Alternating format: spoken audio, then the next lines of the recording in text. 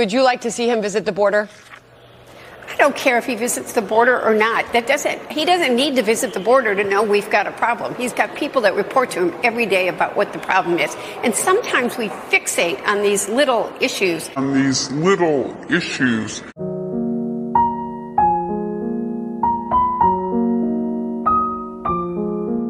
Holy moly. No big deal. Do you think the president doesn't know we got a problem at the border and what the issues are? Wait, wait. That, I know he does. But, but not necessary to see it firsthand. That's a little issue?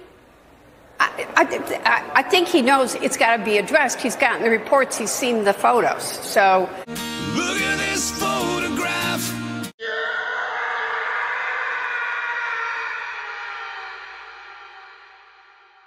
That's, uh, I mean, I, at some point he may or may not go, but I think he knows what's got to get fixed. And you've seen him begin that process.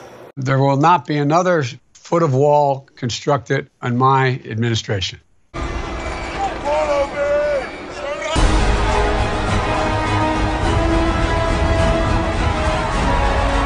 Come on down. And sometimes we fixate on these little issues